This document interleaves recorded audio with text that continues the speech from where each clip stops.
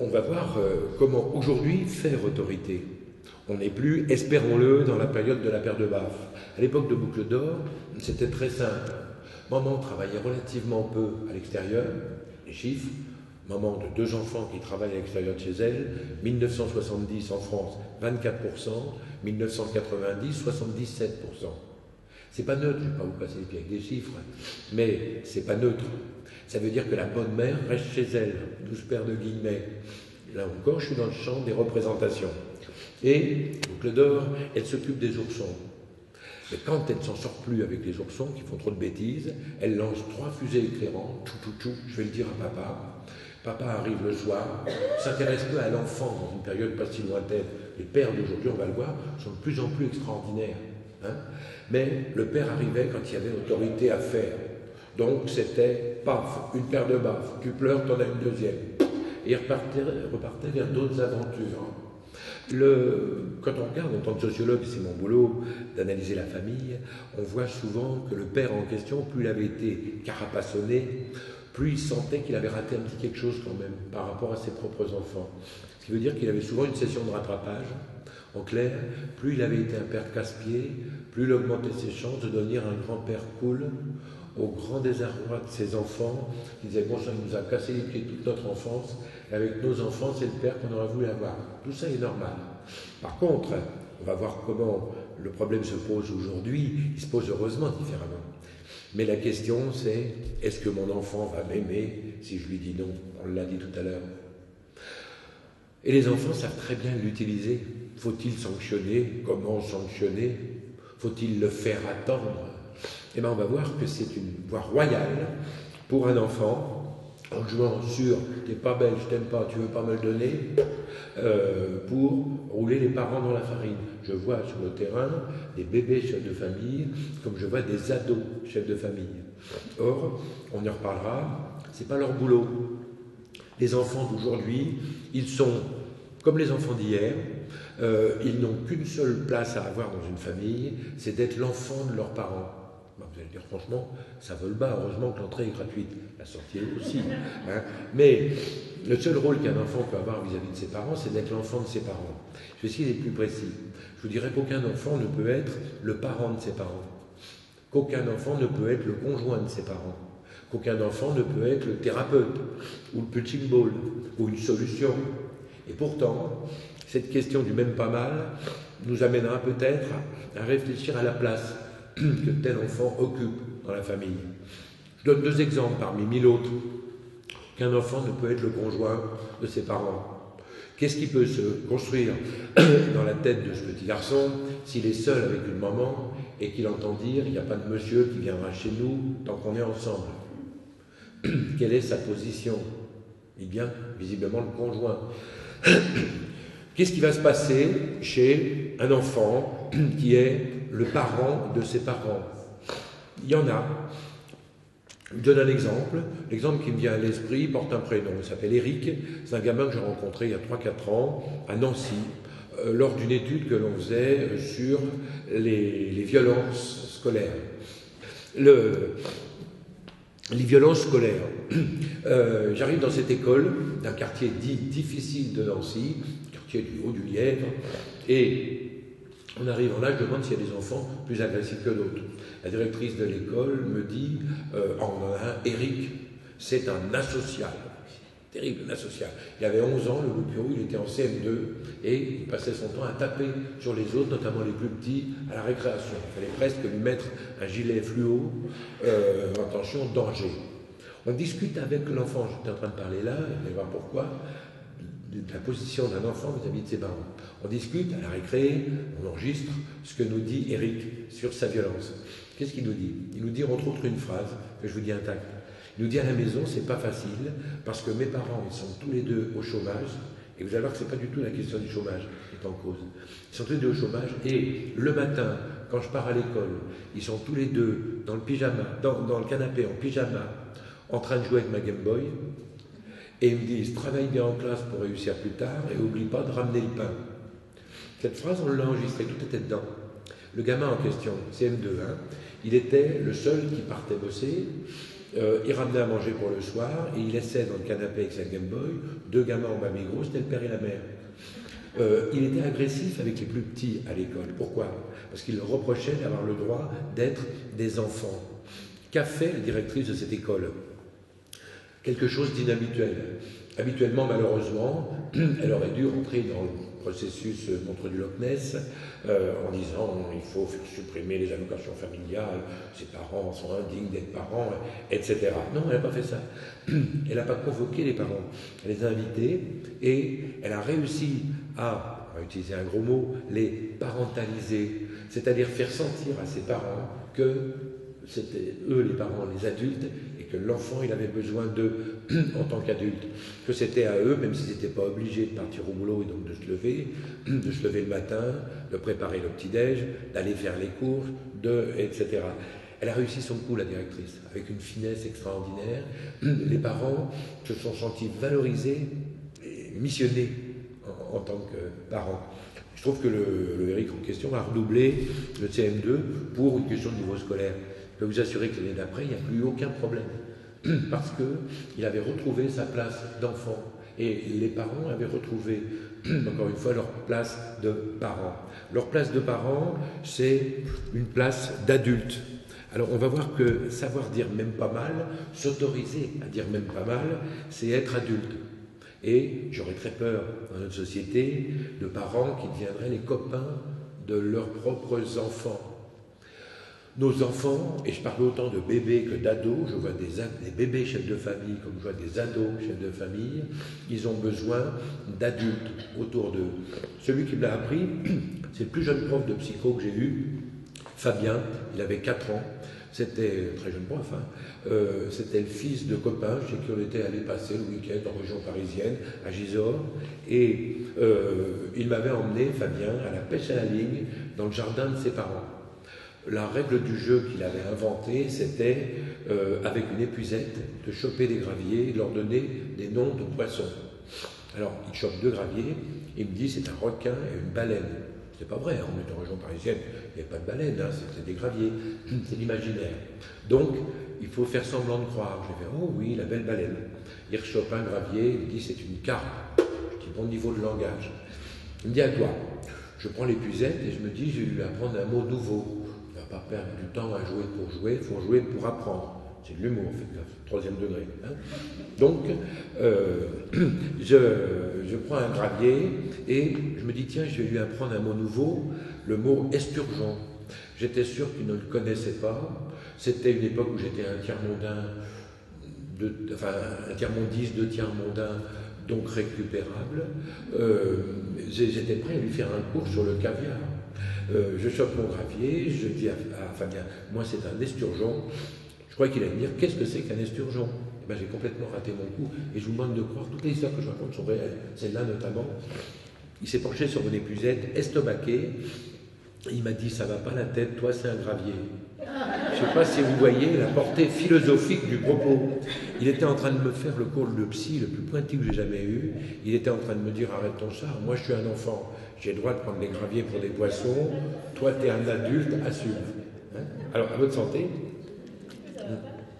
Donc on va euh, rapidement euh, faire, comme une région de haute gastronomie, on va faire un travail assez mosaïque. Dans un premier temps, deux mots je vais vous présenter un peu le cadre euh, de mon travail en rapport avec ce thème. Et puis après, on plantera quelques décors. 6-7 décors qu'on va mettre autour, là, c'est magnifique. Hein, on n'essaiera pas trop gêner la vue. Des décors pour bien voir tout ce qui entoure cette problématique du même pas mal. Et puis après, eh ben, enfin, on prendra l'enfant. Quels sont les besoins d'un enfant pour construire sa capacité de vivre au milieu des autres? Comme disent les psys, sa socialisation. D'autres parlent du vivre ensemble. D'autres parlent de lutter contre le tout à l'ego. Euh, eh bien, on essaiera de voir comment, en tant que parent ou professionnel, en tant qu'adulte, on a à s'y prendre pour que notre enfant, qui est le centre du monde, notre bébé, le bébé humain, petite parenthèse, est mal foutu. Hein. Contrairement aux autres mammifères, euh, il est nul notre bébé. Les autres mammifères sont formidables. Ils se mettent, qu'est-ce qu'ils sont bavards en premier euh, Et l'interro après, faites gaffe. C'est pour la bonne cause. Et je vois plusieurs euh, visages qui font Ah Donc déjà, vous avez pu vous reconnaître peut-être toute ressemblance étant possible avec des personnes ayant existé hein, dans, mon exposé. Donc j'étais en train de vous dire que le bébé humain, contrairement aux autres mammifères, il, il est mal foutu. Hein. Les autres, ils sont en pleine forme, euh, quelques heures après la naissance, ils se mettent sur les pattes de derrière, etc. Le nôtre, il est nul. Euh, donc, il risque de mourir dans les heures qui suivent, mais il ne meurt pas. Pourquoi? Parce qu'il a une technique qui se repasse de bouche à oreille, de ventre à ventre, de fœtus à fœtus, c'est la séduction. Nos bébés, ils sont beaux, ils sont extraordinaires, on les trouve très beaux. Euh, il m'a souri. Ah. Donc je fais à sa place. C'est la séduction totale. Euh, grâce à ça, il va d'ailleurs pouvoir éprouver, j'ai fait euh, la semaine dernière, enfin le 21 mars, une émission sur maternelle, sur la 5, sur le thème Les premières amours. Euh, sur ce thème-là, les premières amours au niveau de la petite enfance, notre enfant euh, va euh, se prouver qu'il peut séduire tout le monde et obtenir tout ce qu'il veut grâce au fait d'être séduisant. On va l'embrasser, le changer, lui donner à manger, on va faire à sa place. C'est formidable et c'est important, on va le voir, cette phase-là. Mais c'est important qu'il ne reste pas enfermé dans cette phase-là. Certains à 30 ans sont encore dans ce rapport-là avec les parents. Hein. on appelle ça les tanguis. Hein vous imaginez notre tête si quand nos enfants ont 30 ans, ils disent Papa, maman, voudrais vous prendre un studio pour avoir votre indépendance hein Donc, si vous voulez, euh, on va partir de ce principe, c'est que euh, comment s'y prendre, et on est dans le même pas mal encore, pour que cet enfant, qui sache qu'il est séduisant, accepte de ne pas être le centre du monde accepte de pouvoir de recevoir cette fameuse frustration Hein, cette frustration. Alors ça passe par des choses très concrètes. Je vous donne un petit exemple, un tout petit exemple euh, de comment lutter, enfin comment permettre l'acquisition de cette frustration.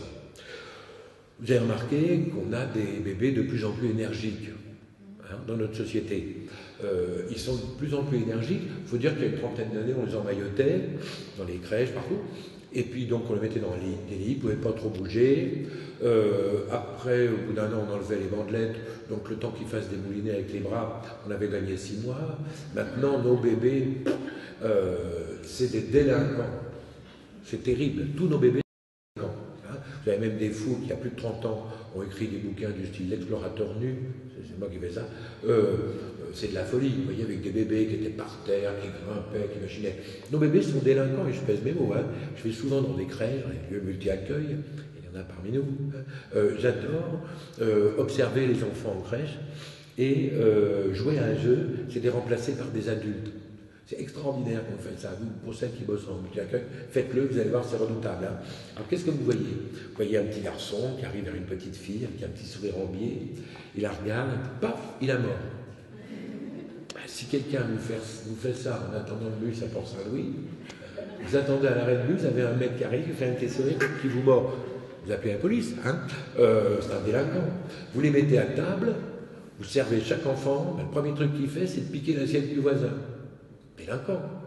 Vous, êtes au resto, vous avez le voisin qui vous pique votre assiette, vous lui fichez une tarte. Hein Donc nos enfants sont délinquants. Il va falloir les apprivoiser à travers les sanctions, et on verra dans quelques instants comment s'y prendre pour sanctionner en tant que professionnel ou en tant que parent. Pas? Ou, ou les deux. Nos bébés, disais-je à l'instant, sont de plus en plus énergiques. C'est très fatigant quand on en a un à la maison. Alors que faire? Eh bien, surtout ne pas écouter ce qu'on nous dit autour. Autour, on va nous dire, dis donc, ton loupio, mâle ou femelle, hein, qu'est-ce qu'il est énergique hein. D'autres vont dire drôlement actif. D'autres plus spécialisés vont dire, il serait pas un peu hyper actif. D'autres plus techniques encore vont dire, t'as essayé la ritaline amphétamine qui endort les, les Au Québec, pays que j'aime beaucoup, actuellement, près de 25% des mômes sont sur Ritaline. Hein, entre 8 et 15 ans, qui est une amphétamine qui crée très vite des dépendances, des liens. Hein. et en France, on essaye de nous en vendre. Hein. Euh, faisons gaffe. Euh, je dis une petite parenthèse en écho à ce que disait Jean-Marc Sarrier. Euh, je reviens une seconde sur Albert Jacquard. c'est le fait de Ritaline qui m'y fait penser. En 2005, il y avait le, ministre de l'Intérieur, je sais pas comment enfin, qui était Marie, Marie de Carla Bruni, enfin une chanteuse, et qui était assez inquiet par le problème de la violence au niveau des ados. Alors il s'était dit, ça serait vachement bien si on pouvait savoir, avant l'âge de 3 ans, rappeler quels étaient les portraits robots des futurs délinquants. Il y a eu une étude, un rapport, on l'appelle rapport Benisti, fait par l'INSERM, l'Institut supérieur de la recherche médicale, qui a abouti à définir, hein, décembre 2005, le portrait robot des futurs délinquants avant l'âge de 3 ans. Est-ce que le voleur de Lego devient voleur de scooter? Cette euh, étude a été arrêtée euh, grâce à une pétition, pas de zéro de conduite pour les enfants de 3 ans, plus de 200 000 signatures, et à partir de là, vous allez voir le lien avec Albert Jacquard, euh, elle a été arrêtée, mais on travaille l'un et l'autre avec Jacquard dans un comité qui s'appelle Comité national consultatif d'éthique. Et on a été saisi en 2006 de cette étude. Comment les chercheurs, 12 chercheurs exactement, sérieux directement, pouvait faire, dans le cadre de l'Institut supérieur de la recherche médicale, une étude aberrante, laissant penser que tel enfant va être un futur délinquant. Et là, Jacquard, un vieux routard, nous a beaucoup aidés. Parce qu'on s'est dit, mais comment c'est possible? Et il a dit, lui en tant que chercheur, ben, ce qu'on va regarder, si vous voulez, c'est comment ça a été financé. Eh bien, ça a très vite réglé le problème. Rassurez-vous, en tant que contribuable, ça n'a pas coûté un franc à l'argent français.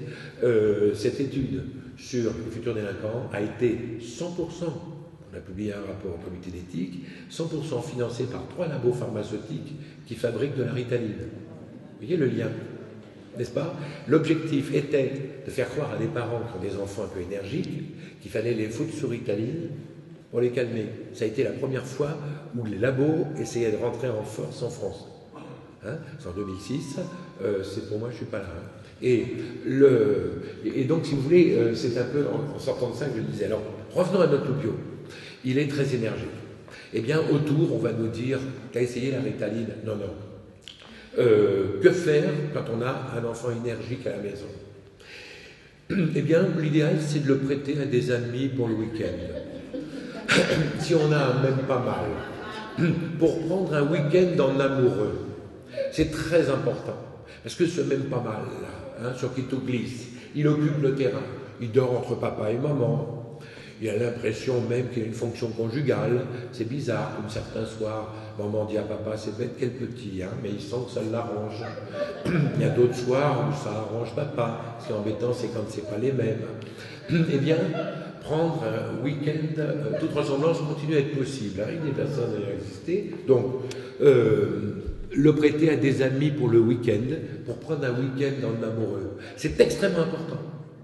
D'abord, on va le voir tout de suite, parce que notre enfant, il va plus facilement accepter des interdits d'autres personnes que les parents. Deuxièmement, euh, il va être rassuré de voir que ses parents s'aiment. Ses parents ou l'homme et la femme avec qui il vit s'aiment. N'est-ce pas? C'est rassurant pour lui et il va apprendre cette fameuse frustration dont on a dit un mot tout à l'heure, c'est-à-dire accepter que lui, il est important, mais qu'il n'y a pas que lui. Et que les personnes qui l'élèvent euh, s'aiment en tant que tel et qu'il n'est pas invité euh, dans cet amour-là. Mais c'est pas gagné d'avance. Prêter nos enfants à des amis pour le week-end, pour prendre un week-end dans l'amour. Grand projet. Alors, comme c'est expérimental, il y a une marge d'erreur. Donc, il faut choisir les amis qu'on a le moins peur de perdre. On ne sait jamais. Mais il n'y a pas un risque majeur.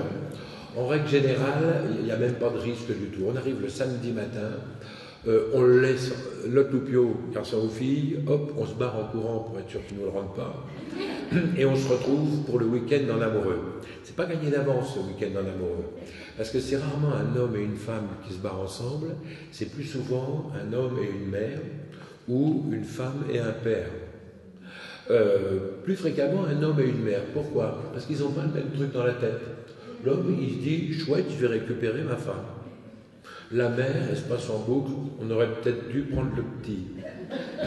Vous mettez ça dans une bagnole, c'est un couple très dur à gérer. Alors vous avez des mères euh, plus atteintes que d'autres. Il y en a qui soignent en une heure, c'est bon. Il y en a, il leur faut un peu plus de temps. S'il leur faut trois jours, c'est mal barré pour le week-end. Hein. Mais en règle générale, soigne avant le dimanche soir, espérons-le. Donc, love, love, l'amour euh, prend le dessus. Et le dimanche soir, les parents reviennent chez les amis chercher le loupio en disant ils vont plus vouloir nous le prendre. Hein. Ils vont nous dire il a tout destroyé dans la baraque.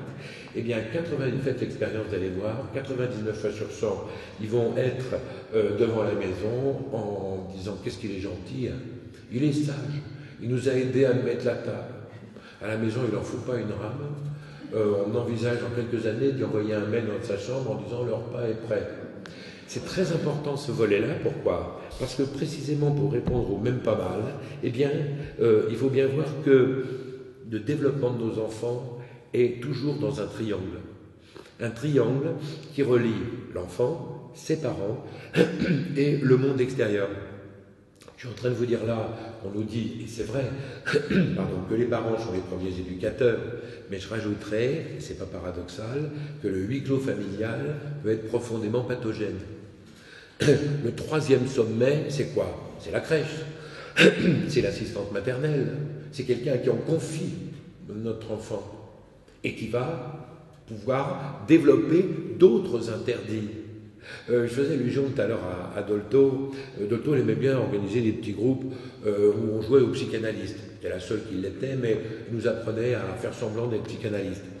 Alors il nous faisait faire des petits exercices sur des mots. Il nous disait pour être psychanalyste, il faut couper des mots en deux, puis que ça prenne du sens. Alors on s'entraînait, c'est très facile, hein, je vais vous dire ça, vous allez voir dès demain, vous pouvez être psychanalyste, il hein, faut vous entraîner un peu. Un des mots qu'elle adorait couper, c'était le mot interdit. Interdit quand vous le coupez en deux, inter d'un côté, dit de l'autre, ça veut dire dit entre. Eh bien, c'est d'une profondeur extrême. Parce que ça veut dire qu'un enfant roi, un enfant qui n'a aucun interdit, est un enfant profondément seul. si cet enfant, dans son cadre familial, il a le droit de tout faire, comment va-t-il pouvoir accepter à l'extérieur le fait de ne pas avoir le droit de tout faire? Et vous avez typiquement les enfants qui vont euh, parasiter euh, le groupe. Je parle de bébés comme d'ados en tant que psychosociologue, je travaille sur un thème, euh, la construction des repères chez l'enfant. Mais je travaille autant avec des bébés qu'avec des ados. On est dans le printemps des enfants, euh, à Port-Saint-Louis, euh, on se parle de plus de petite enfance. Mais mes propos, vous pourrez les entendre en tant que professionnel ou en tant que parent, de jeunes enfants ou d'ados. C'est kiff-kiff. Personnellement, je travaille autant avec la petite enfance qu'avec des ados et je ne fais pas une grande différence entre les deux. Le même pas mal, il existe chez l'ado, sauf qu'il est encore pire. On verra très rapidement, tout à l'heure en trois secondes, à travers une vue aérienne, qu'est-ce qui se passe entre le moment où l'enfant naît dans la séduction totale et le moment où il va accepter euh, les limites. Et on voit que l'ado, lui, il va euh, tester le possible du pas possible. Hein. Les rapports parents d'ado ado, c'est un peu comme la bataille navale. Il hein. faut toucher là où ça fait mal, mais il ne faut pas couler. Hein. L'adolescence, c'est souvent pour le parent un peu comme le mal de mer, vous voyez quand on en est sorti, on en discute avec les amis, on en rigole, mais quand on est dedans, on a l'impression qu'on va en crever et que ça va jamais finir. eh bien, l'adolescence et la petite enfance sont étroitement reliées. Euh, je vais vous dire pourquoi. Euh, je vais me permettre juste de nouveau une petite, euh, petit clin d'œil à Dolto. elle a milité pour montrer que bébé était une personne. C'est un film d'ailleurs qui est sorti en 1984, qui est toujours malheureusement d'actualité, 28 hein, ans après. Quand on dit que les compétences du bébé, hein, par exemple, je suis étonné d'aller quelquefois dans des crèches, aujourd'hui, en 2012, et de voir quelquefois du personnel qui parle d'une façon assez disqualifiante euh, des parents, avec les bébés pas loin, alors qu'ils entendent très bien ce qui est en train de se dire, et quand on filme, on voit bien qu'ils écoutent. Dolto s'est bagarré pour ça, mais elle est morte en août 88, et à la fin de sa vie, elle était euh, terrorisée par quelque chose qu'elle appelait les intégristes. Les intégristes, c'est ceux qui se réclamaient d'elle pour dire tout se joue avant trois ans, tout se joue avant six ans, tout se joue avant la maternelle. Et si je force le trait sur tout, tout se joue, regardez ce soir sur Internet, tapez Tout se joue, euh, vous allez voir une dizaine de titres qui commencent par Tout se joue. Tout se joue avant la maternelle, c'est un bouquin qui est sorti récemment aux éditions sociales françaises. Si vos enfants euh, sont en primaire, ça vaut même pas le coup, hein. tout est joué. Alors Dolto, avec l'humour qu'on lui connaissait, disait, d'après mes réflexions, ça, ça la terrorisait. Et elle disait, travaillant beaucoup avec des ados aussi, d'après mes réflexions, tout se joue avant la mort. Étant très croyante pour son compte, elle rajoutait ou presque. Il y avait quelque chose, un mot auquel elle tenait beaucoup, c'est la notion de session de rattrapage. Cette notion, elle est vachement importante dans le même pas mal. Pourquoi? Précisément parce que notre enfant, il va, on va le voir dans quelques secondes, construire des repères par rapport aux limites. Il va, et on parle de l'enfant de 2 ans, 3 ans, 4 ans, il va apprendre qu'il y a des repères, qu'il y a des limites, qu'il n'a pas le droit de tout faire. S'il ne l'apprend pas, eh bien, au moment de l'adolescence, il va le chercher. Et s'il ne le trouve pas, petite parenthèse, on l'étudie en tant que sociologue, beaucoup ça, s'il ne trouve pas ses limites dans sa famille, comme il en a besoin de limites, il va les chercher ailleurs. Vous avez les phénomènes de bande, les phénomènes de secte, tout un tas de choses où des petits chefaillons ou gourous de l'extérieur savent très bien faire autorité sur des enfants qui en ont besoin et qui ne trouvent pas cette autorité dans le cadre familial. Ça veut dire quoi? Ça veut dire, et on en parlait tout à l'heure avec M. Charrier, que la petite enfance, et il est heureux de voir un élu convaincu de ça, euh, la petite enfance est complètement essentielle euh, pour lutter contre les problèmes au niveau de l'adolescence. Depuis 1995, je viens un mois par an au Québec, le mois de mai. Cette année, ce sera trois semaines. Et la première fois que je suis allé au Québec, donc en 1995, j'étais dans le bureau de Pauline Marois, ministre de la Famille. Et euh, dans son bureau, il y avait un parchemin. Sur ce parchemin était écrit la phrase suivante Il coûte moins cher d'aider un enfant et une famille à se construire plutôt que d'attendre qu'ils dysfonctionnent pour les soigner. Dans le bureau d'un ministre, ça a du sens. Alors, heureusement que j'étais seul dans son bureau, parce que je me suis fait engueuler. Euh, je suis tombé en amour, comme ils disent. J'ai dit euh, C'est formidable le Québec, c'est la première fois que j'y allais, hein, quel humanisme dans cette phrase. Et elle m'a dit, on n'est pas des humanistes, on est des gestionnaires. Et elle m'a expliqué que cette phrase, c'est elle qui l'avait écrite en 1991, suite à une étude qu'elle avait demandé à des financeurs business, hein, ceux qui parlent en France de taux de remplissage dans les crèches, ceux qui ont inventé la prestation de service unique, vous voyez, une des plus grandes conneries du siècle. Hein. euh, taux de remplissage. En général, c'est les élus hein, qui parlent de taux de remplissage, mais ils disent c'est pas nous, c'est la CAF. Mais la CAF dit c'est pas nous, c'est la CNAF. Et la CNAF dit c'est pas nous, c'est Bercy. Et Bercy dit c'est la crise. Toujours est-il qu'on parle de taux de remplissage quantitatif. Eh bien, Pauline Marois, ministre de la Famille au Québec en 1995, avait commandé à des financeurs business, c'est le seul pays au monde qui a fait ça, une étude financière pour savoir à combien revenait au pays le problème des violences des jeunes, des incivilités, etc. Ils se sont rendus compte, c'est pas des hein, que c'est un gouffre d'attendre que ça casse, alors que faire une vraie politique petite enfance, comme visiblement elle est en marche à Port-Saint-Louis, avec les moyens du bord, euh, c'est rentable. c'est rentable. C'est un réel investissement. L'intérêt de la prévention n'est plus à faire, sauf si on pense à court terme. À court terme, ça coûte du fric. À moyen terme, c'est extrêmement rentable. Et quand je dis moyen terme, je devrais rajouter à très moyen terme. Il y a 20 ans, je travaillais avec des ados de 13-16 ans. Actuellement, je travaille avec des ados de 6-30 ans. Donc, si vous voulez, euh, on voit dans nos sociétés des violences de plus en plus graves véhiculées par des enfants de plus en plus jeunes. Et c'est vrai que la qualité des repères construits, si un enfant a accepté l'idée de frustration, de ne pas tout avoir, eh bien, il n'y a pas de raison majeure euh, pour que ça pose problème. Alors, l'adolescence, une seconde, un petit éclairage dessus. Eh bien, je suis terrorisé quand j'entends dire l'ado n'est ni bébé ni adulte. Non, c'est pas vrai. Ce qui caractérise l'adolescent, c'est qu'il est les deux. Il, est, il peut être à la fois bébé et adulte et faire les deux le même jour. C'est pour ça qu'on l'appelle ado. Parce que j'ai l'expression qui suit, parce qu'il peut être adorable ou adolescent. Vous voyez, il fait les deux. Hein euh, il est bébé et adulte. Ça veut dire qu'il a des sessions de rattrapage. Il y a certains jours où il a du boulot de bébé à faire. Il y a des ados si tout s'est bien passé dans la petite enfance, qu'on peut boulot de bébé, et chez qui l'adolescence passe inaperçue. Je suis terrorisé quand j'entends dire dans un pays comme le nôtre, l'adolescence est une période de crise. Terrible, c'est rédhibitoire. J'aurais très peur d'une société qui a peur de ses jeunes, en voyant comment ça se traduit. Il y a en France un observatoire de la santé des adolescents, dirigé par une femme remarquable, Marie Choquet, qui tous les ans publie des chiffres et qui montre que les trois quarts des adolescents vont bien. C'est une période de paradoxe, de fragilité, hein, de vérification des limites, avant de sauter vers l'état adulte. Hein. Euh, mais ce n'est pas une période de crise pour les trois quarts. Attention, euh, ça veut dire qu'un quart ne va pas bien. Et ce chiffre doit attirer notre attention. Ce quart, en général, se décompose en deux moitiés. Une moitié des jeunes chez qui ça se voit, et une autre moitié chez qui ça ne se voit pas. Ça ne se voit pas. Donc, si vous voulez, on ne doit pas y être indifférent. Mais quant à dire l'adolescence est une période de crise, j'étais il y a quelques mois à Genève, je faisais une conférence sur l'adolescence.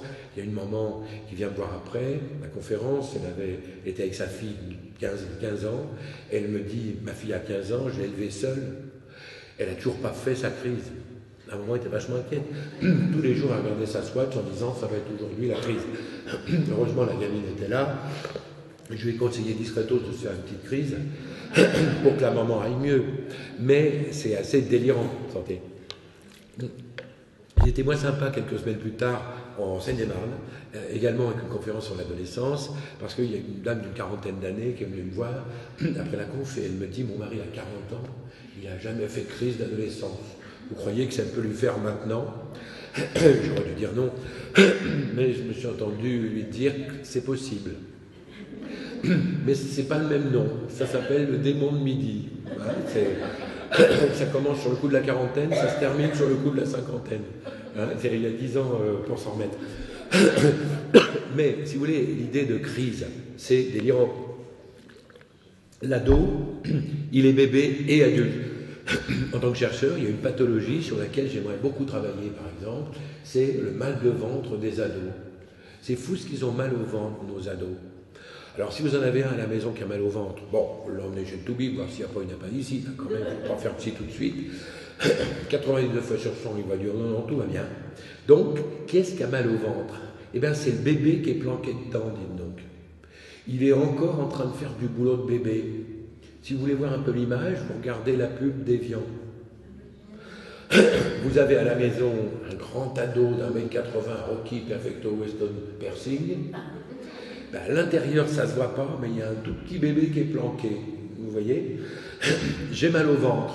C'est le bébé qui vous dit ça. Ça ne se voit pas tout de suite. Hein euh, il est en train de dire j'ai envie que tu me touches le ventre, que tu me mettes du talc, le truc que tu me mettais sur les fesses quand j'étais petit. Manque de bol, on a entendu l'adulte. On lui dit qu'est-ce que t'as encore mangé? T'as encore bu un coca? Moi j'ai un McDo, ta grand-mère, on lui avait dit pas de filet de coca. ben là, on peut dire qu'on s'est gouré de jour. nos ados ont encore besoin de faire du boulot de bébé, et certains, s'il y a encore du boulot, beaucoup de boulot à faire, ils ont beaucoup de boulot de bébé à faire. Et ils sont à ce moment-là très vite dans les extrêmes. Ils vont être très adultes à certains moments, euh, très bébés à d'autres. Ça fait partie, c'est bon signe si on peut dire, ça fait partie de la construction, mais c'est ce qui rend les choses très euh, fatigantes. Alors, quel est, euh, juste un dernier petit éclairage euh, par rapport à, ça et vous verrez très vite que c'est pas en rapport avec notre thème euh, de, même pas mal et de la notion d'autorité. Le bébé et l'ado, même combat. Le bébé, il est un peu différent de l'ado. Il se pose une question, il n'est pas très différent, mais il se pose une question à la fois.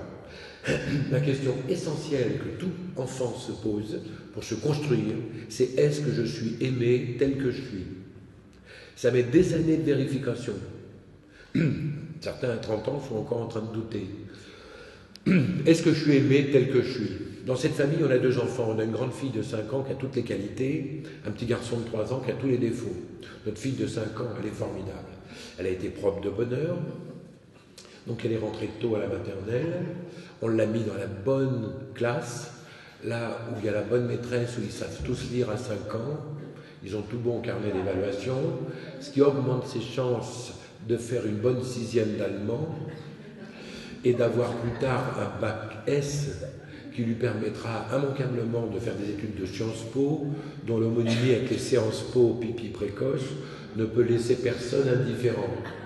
Je fais allusion professionnelle qui quelquefois entendrait de la part de parents débrouillez-vous comme vous voulez, je veux qu'il soit propre à deux ans pour rentrer toi à l'école, pour, euh, etc. Hein, empêchez-le de dormir, on le mettra au lit plutôt ce soir. Vous voyez, toute ressemblance continuant à être possible. Donc notre grande fille, elle a tout bon. À deux ans, elle faisait des puzzles pour quatre ans. Elle est très fière. Elle a tout bon carnet d'évaluation. Car si vous voulez, euh, pour faire autorité vis-à-vis de nos enfants, on mettra là une grande poubelle virtuelle. Hein. et puis dedans, on va mettre des trucs. On va commencer par mettre les carnets d'évaluation. Vous voyez Un enfant, pour progresser, a besoin d'être évalué par rapport à lui-même et pas par rapport à sa ressemblance à la moyenne des autres. Hein? Euh, nos besoins d'évaluation, c'est une, terrorisant, euh, n'est-ce pas?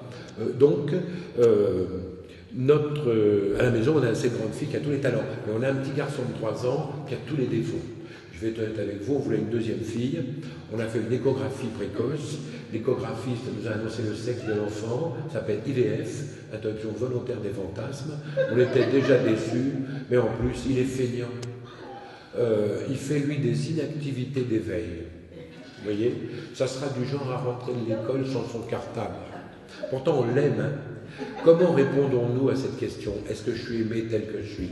Eh bien, notre petit, on va lui dire sans arrêt Regarde ta sœur. C'est autre chose. Il va peut-être aller dans la même crèche et entendre dire Heureusement qu'il y a ta sœur dans la famille. Euh, il va peut-être aller dans la même école et dire Dis donc, j'avais ta sœur il y a deux ans, c'est pas pareil. Je tiens à votre disposition, d'ailleurs je l'ai dans mon sac, une photocopie que j'ai prise il y a un peu plus d'un an à Toulouse, dans une classe de CN2, où euh, l'institut avait dans sa classe un garçon qui avait plein de talents, mais pas ceux qu'on demande à l'école. Deux, trois ans auparavant, elle avait eu la grande sœur, très talentueuse. Et sur son livret scolaire, elle avait marqué en rouge, moi je l'ai en noir, ce n'est pas sa sœur. Point d'exclamation. Euh, j'ai quand même laissé ma carte de psy, ça peut rapporter des clients. Hein. Donc, et je, vais en terminer là pour ce volet-là, on va parler directement des, sanctions. Mais euh, le bébé s'interroge, est-ce que je suis aimé tel que je suis? Dans cette situation, on décrit la grande sœur très talenteuse, le petit frère qui n'est pas la sœur. Vous avez deux enfants en souffrance. Vous avez euh, la grande sœur qui ne se sent aimée que quand elle est la meilleure. Vous avez typiquement, et vous avez le petit frère, n'est-ce pas, qui ne pourra jamais être la sœur. Hein? Euh, pour revenir une seconde sur la grande sœur, c'est une enfant d'une grande fragilité parce qu'au moindre échec, elle peut se planter. Elle n'a pas appris à perdre. Elle n'a pas, on parle de la frustration tout à l'heure, elle n'a pas appris que c'était pas grave de perdre. Je glisse une toute petite parenthèse, d'ailleurs, là. Euh, il y a deux ans, on parlait d'évaluation à l'instant, il y a deux ans, euh, j'étais à Paris, dans, le 20e, dans une classe, le jour où on faisait l'évaluation de cours élémentaire deuxième année, CE2. C'est un truc national pour évaluer le niveau de CE2. Et euh, il y avait plein de questions, c'était les mêmes au niveau national. CE2, c'est pas grand, hein, les petits. Et alors, l'instit, c'est un, un, homme, il dit voilà, bon, la première série de questions, trouver le contraire machin, tel mot, il fallait trouver le contraire. il y avait différents mots, et il y avait le mot compréhensible dedans, CE2. Hein. Il me regarde, il me fait c'est pas gagner d'avance, parce que déjà pour trouver le contraire, il faut savoir ce que ça veut dire.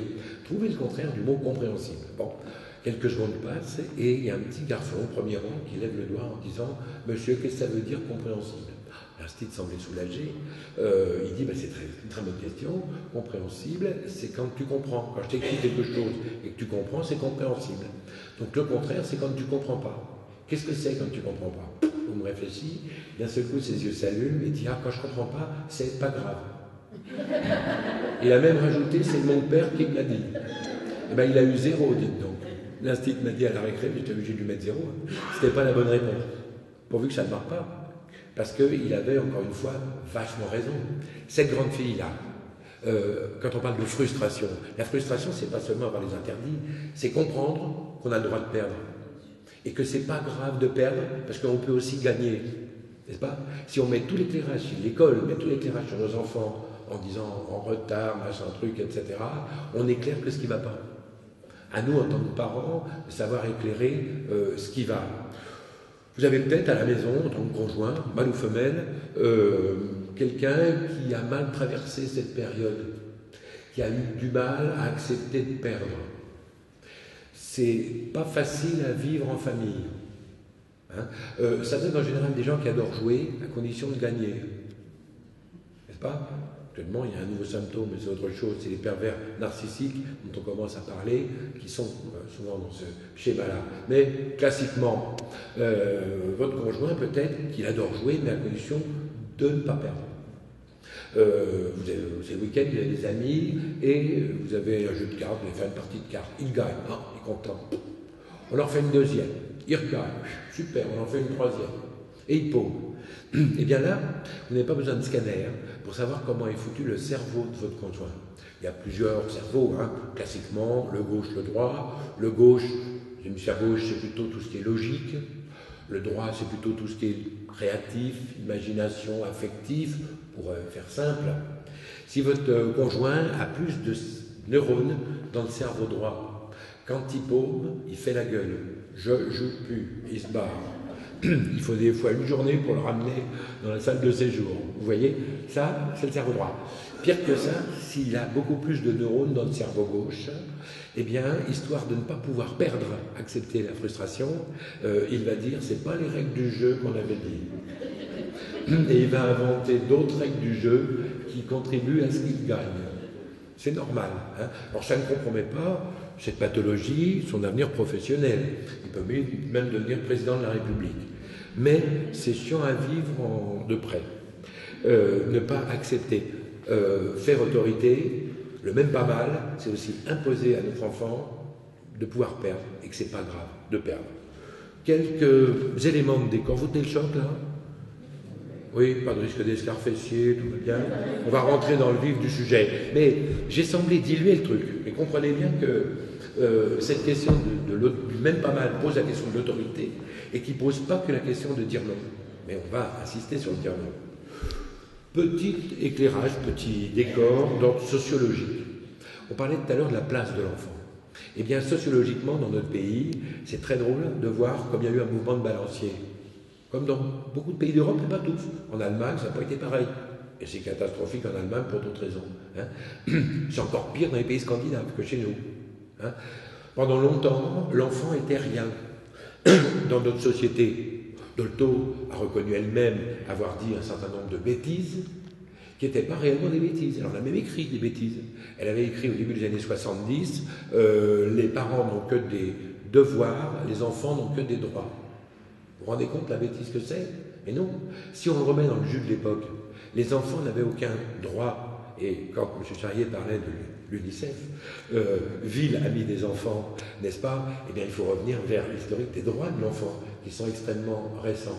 Dans une période pas si lointaine, l'enfant était que dalle, n'est-ce pas? Tout comme la femme. Et par contre, il y a eu un mouvement de balancier, euh, alors formidable, mais peut-être un peu excessif l'enfant est devenu central. Actuellement, euh, l'enfant est tout, ce qui d'ailleurs euh, fabrique des pathologies euh, dans certaines familles qui ne peuvent pas avoir d'enfants, par exemple. Hors enfantement, point de salut, n'est-ce pas? Il faut absolument des grossesses acrobatiques, etc. L'enfant, aujourd'hui, dans notre société, occupe une place qui, quelquefois, même peut dériver très loin. récemment, on nous parlait de l'hypersexualité un rapport ministériel récent, avec ces petites filles habillées en Lolita, en, adulte, ces petits garçons aussi, ces défilés de mode pour enfants. Curieusement, avec des parents qui, eux, veulent être de plus en plus jeunes et de plus en plus copains avec leurs propres enfants. N'est-ce pas? C'est pas sa place. Euh, actuellement, alors moi je travaille en tant que sociologue sur cette question-là, mais je me sers beaucoup d'un ami, d'un copain de longue date qui est publicitaire. Euh, qui fait beaucoup de pubs à la télé, mais qui n'a pas de Rolex. Et euh, qui et ils n'ont pas trop droit à l'erreur, les publicitaires. Je lui demande depuis toujours euh, comment il doit camper les personnages quand une famille est représentée pour vendre n'importe quoi. Eh bien, depuis 7-8 ans, il lui est demandé de montrer les pères de plus en plus nuls, parce que les pères sont en pleine évolution, ils sont formidables, mais ils gênent la société dans ses représentations. Petite parenthèse, on assiste actuellement à un gros courant euh, d'auteurs, de pédiatres, pas mal, qui commencent à dire qu'il faut, ça serait que les femmes retournent chez elles, que le père retrouve son autorité, que, etc. C'est terrible. Faisons-y très gaffe. Ce publicitaire, il lui commandait de plus en plus de faire des pères nuls et des enfants savants. Euh, je vois derrière vos fronts des bouteilles de lait qui se dessinent, certains de vos fronts. Vous avez entièrement raison, et c'est même lui qui a fait la pub, le, pote.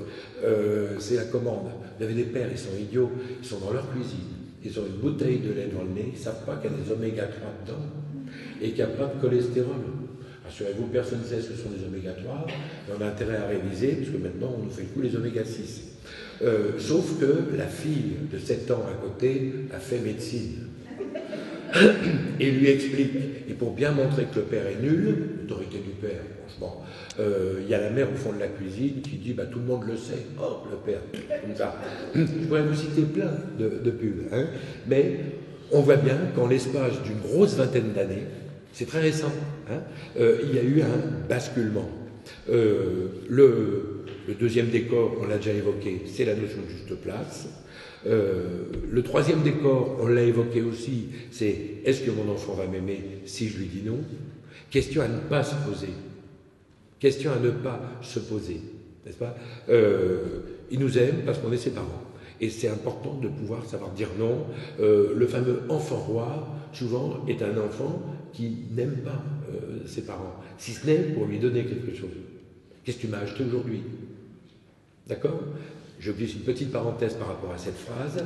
Derrière, est-ce qu'il va m'aimer si je lui dis non? On voit, en tant que sociologue, des pathologies aussi qui se dessinent.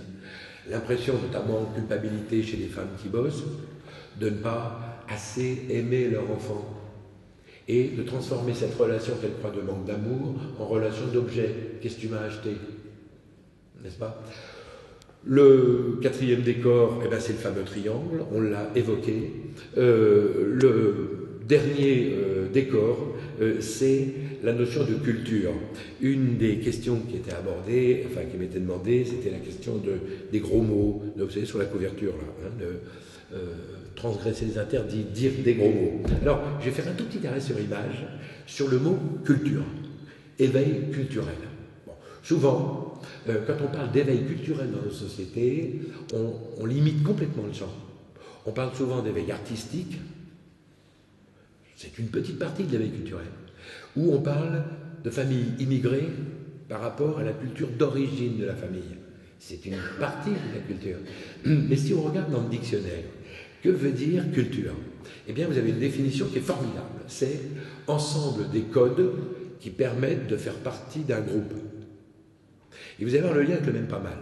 Ensemble des codes qui permettent de faire partie d'un groupe. Un enfant, il fait partie de plusieurs groupes. Il fait partie de la famille. Donc il va apprendre comment on se tient à table, euh, les règles du jeu à la maison, on va au lit à quelle heure, il va apprendre plein de trucs pour faire partie de ce groupe, c'est clair. Mais il fait partie d'autres groupes aussi. Et le groupe dont il fait partie, c'est la culture d'enfant. Ensemble des codes qui permettent de faire partie d'un groupe. Notre enfant, va aussi développer vis-à-vis de ses parents euh, un mode relationnel qui consiste à leur dire euh, Vous êtes nuls, hein. Pas, moi l'ado, je suis en plein dedans, hein. moi l'ado, j'ai pas le bol. Contrairement au bébé, on va venir tout de suite à la culture, vers le lien que ça avec le même papa.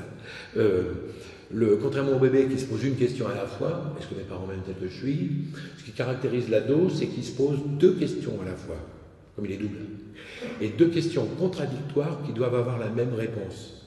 Il hésite, ce que je vous dis là. Ça va devenir limpide immédiatement. Court exercice. Première question de l'ado, est-ce que mes parents m'aiment tel que je suis? Deuxième question, est-ce bien vrai que je suis tombé sur les plus nuls? Dans les deux cas, la réponse doit être positive. C'est facile d'être parent d'ado, vous voyez? J'ai pas le bol, hein Tous mes potes sont tombés sur les mieux, moi je suis tombé sur les plus nuls. On est dans du culturel là. Hein? D'ailleurs, je suis pas sûr que ce soit mes parents. Franchement, des gens moches comme ça, c'est pas possible qu'ils aient fait quelqu'un d'aussi beau que moi. J'ai dû être adopté. M'en parlerons un jour. Pour l'instant, je vais faire avec cela. Le langage se modifie. Vous avez un bébé, par exemple. Le bébé, lui, il va développer un langage destiné à être compris essentiellement par la mère, moins par le père. Vous êtes avec des amis à table, euh, il y a un bébé dans un baby relax, il fait mi mi mi. Euh, la mère dit Ah, il a faim. Et elle se gourre pas, dites donc. Comment qu'elle comprend? C'est normal, c'est subliminal. C'est du non-verbal, n'est-ce pas? Le même bébé, 13 euh, ans après, il développe une culture un peu différente. Il a la casquette à l'envers il dit T'es qui, en vérité, sur ma mère Je suis vénère, ziva, tout. Euh, tu sais qu'il a appris un langage comme ça, au collège. Et il le développera d'autant si ça peut casser les pieds aux parents. On est en plein dans la culture, dans le même pas mal. Ça veut dire quoi? Ça veut dire que nos enfants, euh, pour affirmer leur culture d'enfant, et là on revient chez le petit, hein, vont jouer sur ce qui casse le plus les pieds aux parents. Les parents sont écologistes, bouffant bio. Il va adorer les colorants. N'est-ce pas? Ils sont antimilitaristes. Il va adorer les flingues. Ça ne veut pas dire qu'il deviendra militaire. Mais l'objectif, c'est de refoutre les parents sur le rang de touche, là, hein, sur le côté, en disant euh, Moi j'existe aussi. Il va bien sûr adorer tout ce que les publicitaires lui disent d'adorer, pour ressembler aux autres enfants. Et ça coûte très cher au moment de Noël. Je glisse une toute petite parenthèse sur ce volet-là. Euh, je suis très inquiet par des études faites sur le rapport à l'argent, de voir que des parents qui ont peur de ne pas être aimés sursaturent leur monde de cadeaux au moment de Noël, et plus ils sont de milieux sociaux défavorisés, plus ils pour acheter un tas de trucs chers, au lieu de parler à un enfant qu'on ne peut pas, de lui apprendre à à consommer et non pas lui parler de problèmes financiers, et lui expliquer que notre budget n'est pas extensible.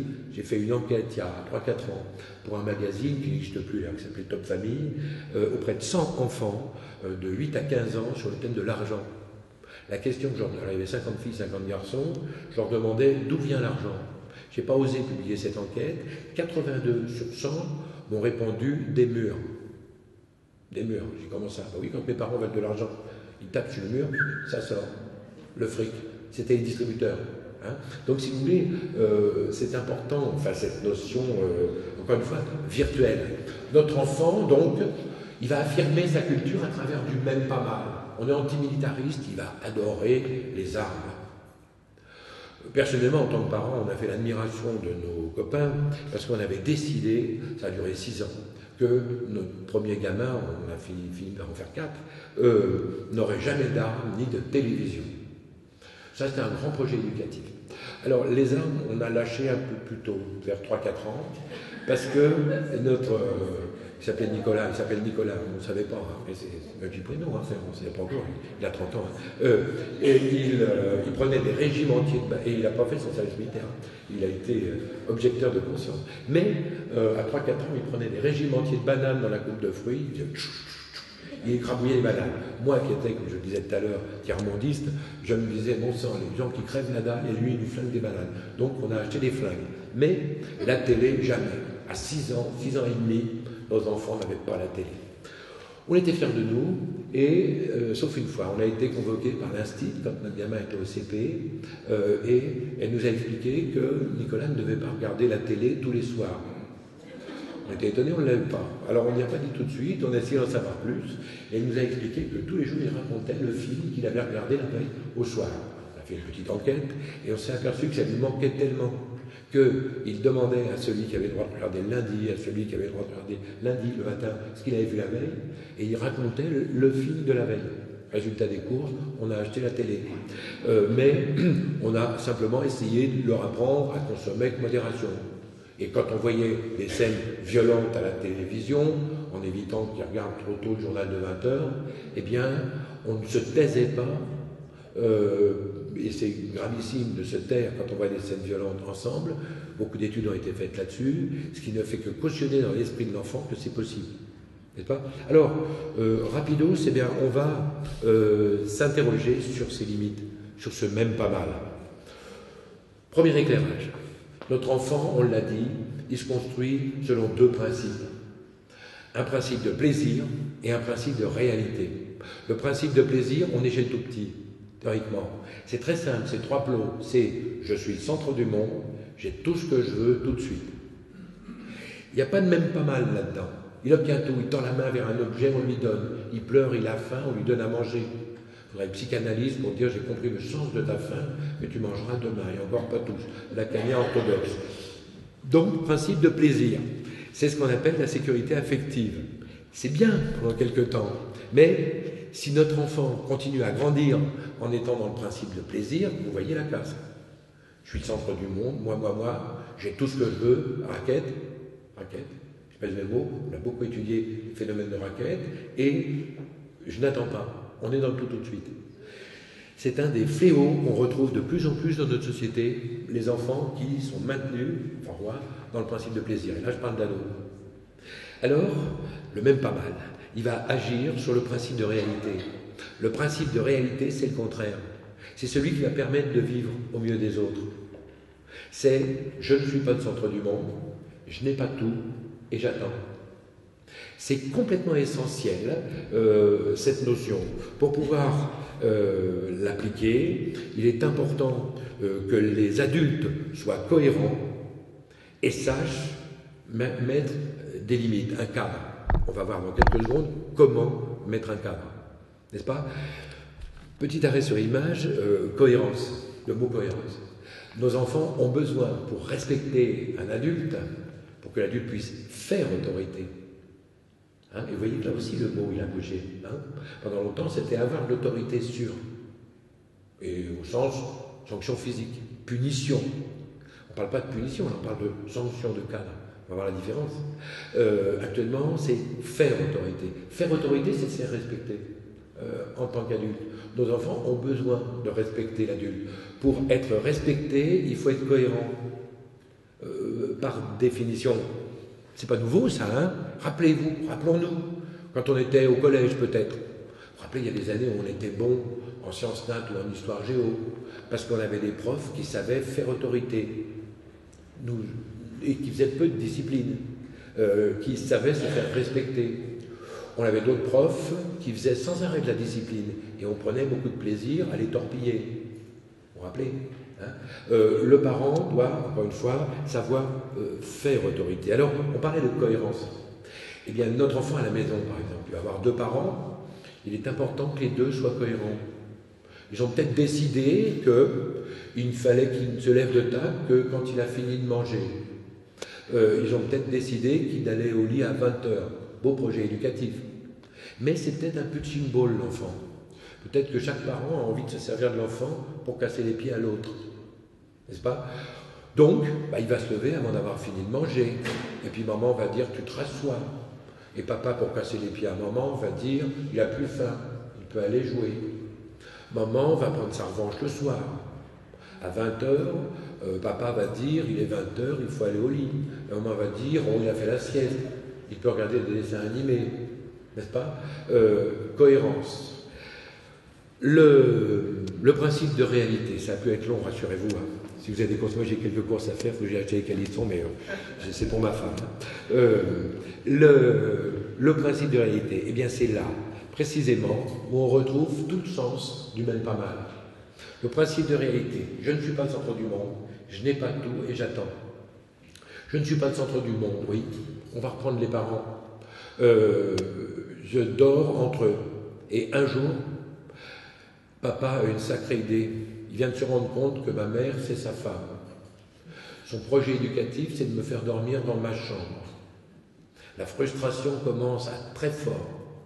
Je suis dans ma chambre, il faut dire qu'ils avaient mis beaucoup d'énergie pour me faire une belle chambre euh, pendant la grossesse de maman, j'y avais jamais dormi, euh, mais euh, là je suis dans ma chambre et j'entends dans leur chambre des bruits d'hommes et de femmes que j'ai jamais entendus.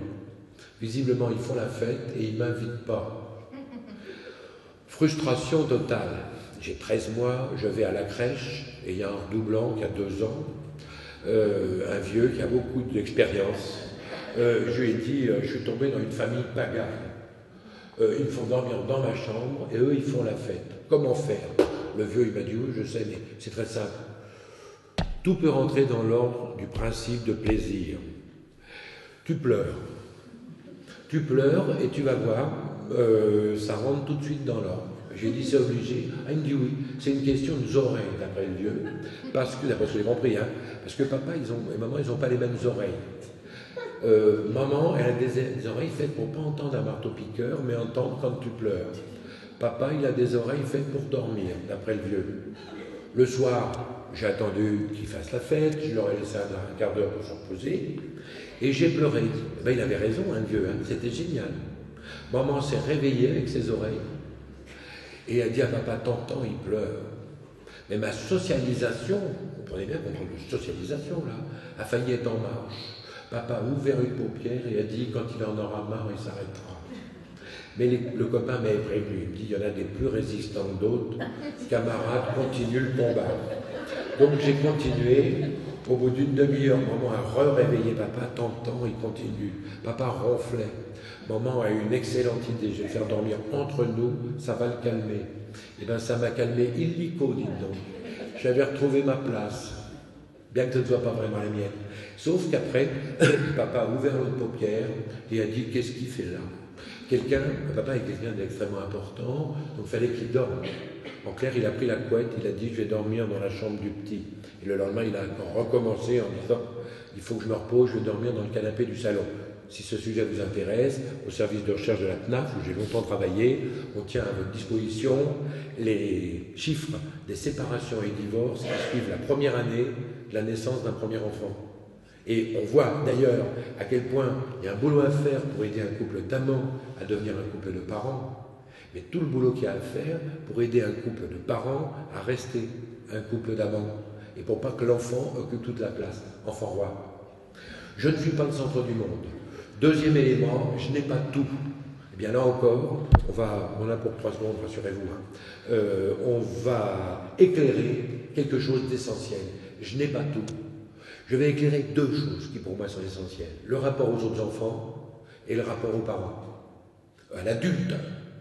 Le rapport aux autres enfants. Ben, si j'ai tout, je suis un bébé, je suis à quatre pattes, à plat ventre, puis un jour je mets sur les pattes de derrière, puis j'ai les pattes de devant qui sont libres, puis l'innervation de la main, être insensible, je reconnais par la peau, puis un petit nerf opposant qui se met en face. Je suis propriétaire de tout ce que j'ai dans les mains. Jouissance de la main. J'ai un an et demi, deux ans. Jouissance totale. Là va naître chez moi la phase capitaliste. Je vais piquer tout ce que les autres ont dans les paluches. Bernard Tapie encore. Hein. Il n'y a plus de session de rattrapage à certains moments. Mais mon boulot, ça va être, jouissance de la main, de piquer à tous les autres ce qu'ils tiennent. Pas pour me l'accaparer, hein, pour montrer que c'est à moi, que c'est pas à eux. Comme j'ai autour de moi des plus petits, eh bien, ça marche à tous les coups. Chaque fois que j'en pique un truc, ils pleurent. Bon, ça, ça roule. Un jour, un drame, un drame, un même pas mal. Euh, je vais au square avec mes parents, j'ai deux ans et demi, trois ans. Et je vois un autre enfant que je ne connaissais pas la veille, un deuxième joueur qui a mon âge, plus du matériel de socialisation, un seau et une pelle. Comme d'habitude, je lui piquais son seau, ça devait rester sans suite, hein, en plus j'ai le même, hein, mais j'ai piqué son seau, je me préparais à le foutre en l'air, mais là je suis tombé sur une peau de vache. Il a pris la peine, et pour bien marquer son territoire, on appelle ça marquer son territoire, c'est une des questions qui a été soulevée, c'est, bon, un coup sur la tronche. Je pleure. Combien de temps vais-je pleurer? Ben, Je vais vous dire que cet enfant pleure le temps d'intégrer cette donnée fondamentale, à savoir le monde entier est à moi, sauf son saut. Ça paraît idiot, ça le sera encore plus. Moi, je vous dirais que certains chercheurs, je pense à Hubert Montagnier, ont travaillé pendant des années sur cet instant où l'enfant accepte qu'il y a un autre et quelque chose à lui. Je peux vous assurer que, ayant beaucoup travaillé sur le racket, pendant plusieurs années, pendant presque cinq ans, il m'est arrivé fréquemment de voir environ 30% des auteurs de raquettes rencontrés euh, qui étaient encore dans le stade du tout petit. On a travaillé là-dessus en formation pour la police nationale, non pas pour excuser le raquette, mais pour essayer de savoir par rapport à des jeunes où ils en sont par rapport au fait que tout ne leur appartient pas. D'accord? Donc on est dans la prévention. Notre Loupio, il pleure. Il pleure, mais quand il va se rendre compte que l'autre c'est une peau de vache, il va dire Je vais m'en faire un ami. Il va le présenter à sa famille. J'ai un copain. Et Montagnier a travaillé plusieurs années sur ce qu'il a appelé la relation d'offrande. Je vais offrir à cet autre, le féroce là, un petit cadeau. Je ne vais pas lui offrir mes jouets. Je suis encore dans la phase capitaliste, hein. j'en suis pas là. Mais je vais aller piquer un jouet un plus petit.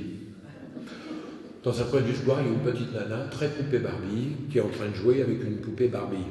Je lui tire sa poupée Barbie, je l'offre, offrande à mon pote qui la destroy dans la seconde, j'avais raison de me méfier, c'est un féroce. Euh, et euh, donc le phénomène de bande est né. Je me suis socialisé, je suis plus seul au monde, on est deux. Je lui dis, tu viens, on va lui foutre du sable dans les yeux. On va tous les deux torpiller la petite nana qui va pleurer le temps de se dire, faut que je me mette bien avec ces deux-là. Deux éclairages. Espérons que les parents que les adultes aient un t-shirt marqué Z dessus et que ça veut dire zen et pas Zoro. Si ça veut dire Zoro, ils vont systématiquement se lever en disant rends-lui son seau et empêcher l'enfant d'apprendre à gérer des conflits. Le parent n'a pas à intervenir, mais espérons encore que les parents ou adultes aient un strabisme divergent, puissent lire Femme actuelle de l'œil gauche en surveillant l'œil droit. Pourquoi? Parce que cette scène m'amène à vous dire qu'il faut laisser les enfants gérer leurs conflits, et y compris au sein de la fratrie d'ailleurs. Il faut faire gaffe en tant que parent de ne pas systématiquement vouloir jouer les euros. Hein. Mais observons, parce que cette scène que je vous dis, elle peut exactement se retourner. Actuellement en France, on voit une montée en puissance très grande des phénomènes de souffre-douleur. C'est-à-dire des enfants qui sont sans arrêt torpillés par les autres en rapport, beaucoup d'études ont été faites là-dessus, avec un système de compétition qui crée la peur d'être humilié. On voit de plus en plus, y compris chez les enfants plus très jeunes, des groupes d'enfants qui se constituent contre un tiers. Et vous avez des jeux dans les cours d'école, jeux de la canette, jeux tout un tas de trucs. Donc, si on voit que notre enfant s'en sort bien dans le conflit, qu'il se débrouille, si on voit qu'il se fait torpiller, ne pas laisser faire. Ne pas laisser faire, parce que cet enfant qui se fait torpiller a l'impression que c'est toujours à cause de lui. Culpabilité. On a un travail à faire là-dessus. Un deuxième et dernier élément, et après une conclusion, et d'ailleurs elle est très bien, euh, je n'ai pas le droit de tout faire. Hein, je ne suis pas propriétaire du tout, je n'ai pas le droit de tout faire. Eh bien, je vais remplir mon code pénal. Et là, le même pas mal euh, va entrer en scène aussi. J'ai un code pénal vierge dans la tête, puisque j'ai le droit de tout faire, séduction totale, hein, on l'a dit. Mais là, je vais me servir de mes parents, premiers éducateurs, et des professionnels avec lesquels je vis, euh, pour savoir ce que j'ai le droit de faire, pas le droit de faire. Je me dis, ça serait quand même bien d'avoir quelques limites. J'ai deux ans, trois ans, vous voyez Il euh, faudrait que j'ai une vague idée. J'ai un code pénal vierge, mais je vais le remplir. Page de droite, je vais marquer ce que j'ai le pas le droit de faire. Page de gauche, je vais marquer ce que j'ai le droit de faire. Comment je vais m'y prendre? Eh bien, je vais faire des bêtises, par exemple. De préférence, des bêtises groupées le même jour, pour avoir une meilleure lisibilité. Car aujourd'hui, fait un peu gris, je vais la vérification des limites. Euh, je commence une grosse bêtise à 9h. Avant, c'était Papa Ours, encore plus haut dans le texte. Paf, une baffe, page de droite. Si vous voulez le texte exact de la page de droite, vous écoutez la chanson de Dutronc, fais pas ci, fais pas ça, je fasse sur mon bidet. Vous avez des phrases formidables dans cette chanson. Hein. Il a une, par exemple, c'est tu n'es qu'un bon à rien, je te dis ça pour ton bien. À vous de penser la suite. Bon. Mais là, maintenant, mes parents s'interrogent, faut-il sanctionner Comment sanctionner Est-ce qu'il va m'aimer On a dit tout ça. Je fais une méga bêtise et j'attends pour voir dans les combien ça coûte.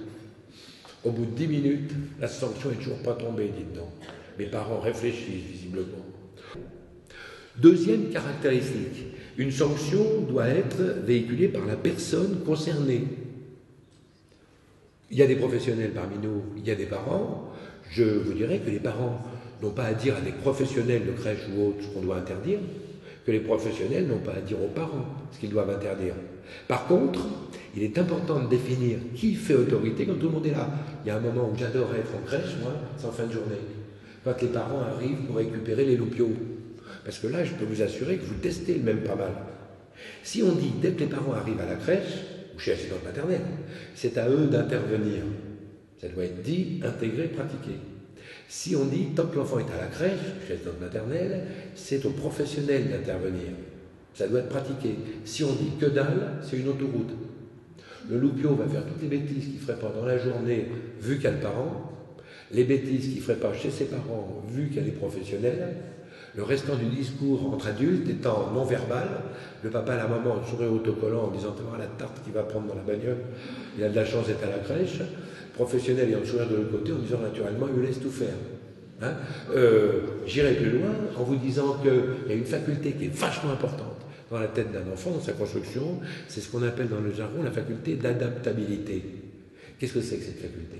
C'est comprendre qu'on ne se comprend pas de la même façon avec n'importe qui dans n'importe quelle circonstance. C'est essentiel. Qu'est-ce que ça veut dire concrètement? Eh bien, ça veut dire que ce qu'on doit interdire, c'est ce qui nous dérange. Or, pour un couple il y a un père et une mère, les parents ne sont pas forcément dérangés euh, par les mêmes choses. Euh, quand euh, les professionnels ne sont pas dérangés pour les mêmes choses. J'adore, petite parenthèse, être dans des crèches, dans des structures et provoquer des engueulades. Par exemple, je demande aux professionnels des définitions de mots. Que veut dire assurer la sécurité d'un enfant? Des gens qui bossent ensemble depuis des années, hein par exemple. Assurer la sécurité. Alors vous en avez une qui est plutôt du genre, euh, sportif euh, et qui va dire ah ben, assurer la sécurité de l'enfant, c'est lui permettre de prendre des risques calculés. Elle est en cohérence, cohérence avec ce qu'elle vit. Puis vous en avez une autre plutôt du genre anxieux euh, qui dit ah non, c'est éliminer tout danger. Quand je vois un petit banc, je déclenche le plan sec. Je vois la bosse comme si elle allait se produire. Et les parents qui vont dire Je veux le nom de celle qui est surveillée Déferlante sécuritaire, risque zéro. Vous mettez ces deux nanas ensemble dans une équipe qui bossent ensemble en ayant plein de compétences, mais sans avoir pris le temps de donner les définitions qu'elles mettaient. Vous les mettez ensemble, vous mettez un mur d'escalade, vous n'avez plus de collègues. Vous avez une coincée et une inconsciente. N'est-ce pas? Euh, Vous pouvez faire ça en famille avec des parents. Hein? Euh, Dernier clin d'œil d'ailleurs à Albert Jacquard. Albert Jacquard, il s'est fait pomper par tout le monde. Il a écrit un bouquin en 75, qui s'appelle Moi et les autres, euh, dans lequel il développe cette théorie-là, de ce qu'il appelle dire je, et le danger de ce que Jacquard appelle la relation klaxon, tu, tu, tu, parler à la place de. Tout le monde euh, dit que c'est de, lui, enfin, tout le monde oublie que c'est Jacquard, hein, 1975. Je. Savoir euh, lutter contre le même pas mal, savoir dire à un enfant qu'on n'est pas d'accord, savoir sanctionner, c'est dire je, parler de soi. Je n'ai rarement vu d'enfants entendre ce je. Souvent, ce qu'on leur dit, c'est tu, tu, tu, klaxonne, n'est-ce pas? Euh, Tu vas te faire écraser, tu vas prendre froid, tu, tu, tu. Il y a deux types de gens qui ont dit tu, c'est les enfants et les personnes âgées, euh, en principe. Hein. Restons une seconde sur cette image. Maman est plutôt anxieuse, papa est plutôt sportif, par exemple changer les rôles. Hein. L'enfant euh, va aller au square avec papa. Il va grimper après un arbre. Papa va être admiratif. Qu'est-ce qu'il assure bien? Il fait gaffe, etc. Il rentre à la maison, il va dire c'est super. Il va dire à un moment qu'est-ce qu'il assure hein, pour grimper? Il prend des précautions formidables. Il est fier de son rejeton. Puis le lendemain, c'est maman qu'on met dans le bureau au square. Mais elle, elle a les boules. Que va-t-elle devoir dire? Eh bien, Si on en croit Jacquard, elle n'a qu'un truc à dire qui marche très bien, c'est avec papa tu pourras monter, moi j'ai peur que tu tombes. Je n'ai jamais vu d'enfant transgresser de façon durable ce jeu. Par contre, j'en ai rarement vu l'entendre. Euh, c'est tu. Elle va commencer par laisser l'enfant grimper, parce que papa a dit que, et à un moment donné, elle a vraiment les chocottes. Donc, le plus calmement possible, elle va lui dire descends tout de suite, tu vas tomber. Bon, ce tu, c'est un ordre, il tombe. Le jeune apparaissant dans la deuxième séquence, je te l'avais dit, je le sentais. Eh bien, le salmo, il remonte, dites-donc. Là, vous avez un même pas mal. Hein il remonte. Tu vas retomber. Bon, il retombe. Je te l'avais dit. Et il recommence. Ah, il me provoque. Hein Mais non. Réfléchissez une seconde. À travers ce tu, parlez à sa place. Qui provoque qui C'est l'adulte qui, provoque euh, l'enfant. Ce jeu étant extrêmement clair. Qu'est-ce qui caractérise notre censure Elle doit être immédiate, elle doit être véhiculée par la personne qui a été dérangée, et avec un je, et richesse si les interdits sont différents, à condition que l'interdit ne soit pas pour casser les pieds à l'autre adulte. D'accord. Hein? Troisièmement, euh, la, sanction ne doit pas être humiliante. Je vous rappelle que le mot autorité vient de racine octor qui signifie hauteur, élevé, n'est-ce pas? Euh, La sanction ne doit pas être humiliante. Euh, mettre un enfant au coin, euh, machin truc, ça n'a pas de sens. Et elle doit être pensée. pensée dans le détail. Dire à un enfant à la maison qui est énervé, tu vas dans ta chambre, tu te reposes et tu reviens quand ça mieux. C'est une bonne sanction. Dire à un enfant, si tu es méchant, tu vas dans ta chambre. Et puis tu te mets au lit et tu dors. C'est ostensiblement générer beaucoup de troubles du sommeil. Vous voyez, il y a un détail, n'est-ce pas? Mais euh, la sanction, c'est pas forcément, comme fois, une punition. Euh, la chambre est un lieu de repos. Si elle est un lieu de punition, euh, très vite, ça dérive. Hein? Et beaucoup de troubles du sommeil naissent de, de cette là. Sanction immédiate par la personne concernée, pas humiliante, pensons-y. Elle doit être expliquée, expliquer une sanction, mais pas trop longtemps. Je veux dire par là qu'elle ne doit surtout pas être négociée. Si on négocie avec nos lopios, on est foutus, ils sont meilleurs que nous. N'est-ce pas? Euh, Donc, expliquer. Euh, le cinquième élément qui caractérise la sanction, elle doit être juste. Et là, je vous dis quelque chose qui n'est pas facile, c'est qu'il faut faire gaffe de ne pas se bourrer de victimes. N'est-ce pas? Euh, Je vous donne un exemple. Vous avez encore trois secondes là? Hein? Bon, un exemple concret. Je vais dans une crèche il y a quelques, un an et euh, je faisais une étude sur les violences, l'agressivité chez les enfants. C'était une crèche collective en section bébé, moyen, grand, bien hermétique.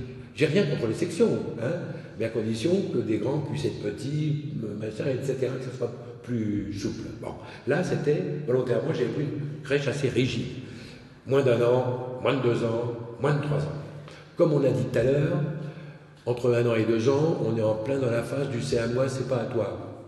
C'est-à-dire chez les moyens, comme on dit, c'est là où tout le monde se tape dessus.